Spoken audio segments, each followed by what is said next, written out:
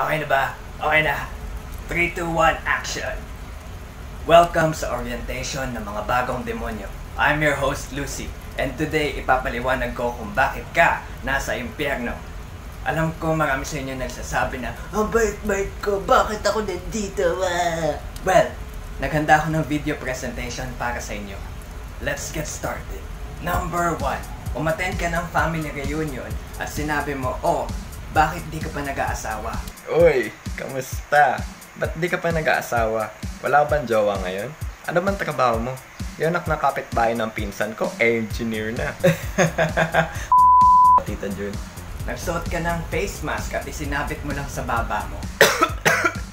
Sorry, alam mo parang wala akong panlasa lately.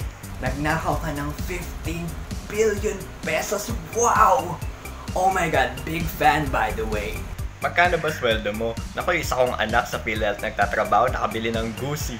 Tsaka nung iPhone XYZ ba yun? Gucci? Number 4. Minsan mo lang sinabi ang sentence na, Uy, tumaba ka. Uy, friend, long time no see. Parang tumaba ka. Number 5. Toxic ka sa ML. Tapos, mali pa spelling mo ng lag. Lag! Fovo! Number 6. Ikaw ang sumagot sa module ng anak mo. Tapos, honor student pa siya. Tapos yung bunso ko, naku, honor student yun. Dali-dali nung module niya eh. Pang grade 2. Hindi ko na ginugil. Natatandaan mo nung nakakita ka ng aksidente sa Facebook timeline mo, tapos naghaha-react ka? Oh, demonyo. Number 8. Speaking of Facebook, naalala mo nung hindi mo shinare yung picture ni Papa Jesus sa timeline mo? Oh, lagot ka. Nalalaglag yung hearts ko direct. Number 9. Sinabi mong papunta ka na, pero hindi ka pa bumabangon. Hello? Hmm? Oh. Oh, pre, malapit na ako. Oh, traffic lang. Oo, ayun oh. Ilang kanto na lang. Oo, sige, sige. Malapit na ako. Eh, beep, beep! Mm, sige, sige, sige. Bye!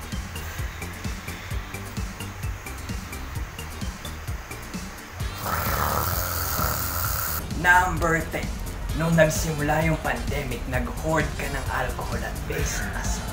Tapos tinaasan mo yung presyo. Impressive.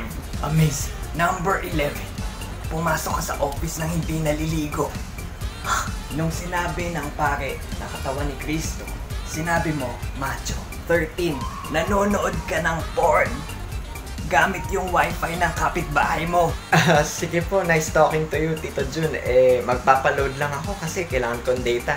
Data? Ano ba yung data na yung sinasabi ng mga kabataan? Gamitin mo yung kay Kaloy. Password, uh, PLDT1234. Dali, lagay mo. Libre lang yun. Sino si Kaloy? Number 14.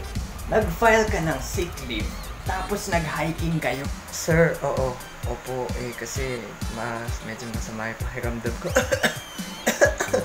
Mm-mm, hindi ako makakapasok. Okay po, sige po, salamat.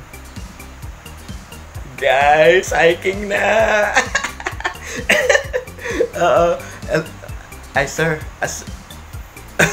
sir, kayo pala yan. Um, oo. Hi- hiking and hospital yan, sir. Oo. At number 15, ang pinakamalaking kasalanan sa lahat. Kumain ka ng Yum Burger sa loob ng FX. Demonyo! At yan ang ilan sa mga dahilan kung bakit ka nasa impyerno.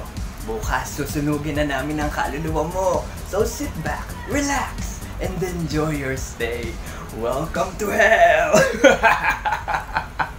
By the way, kung nanonood ka ng videos ng The Kent Show tapos hindi ka nakasubscribe, well, naghahanda na akong kunin ang kaluluwa mo. Okay na? Tapos na ba? Wala naman akong sweldo dito, my God. My God, este, uh, may satanas.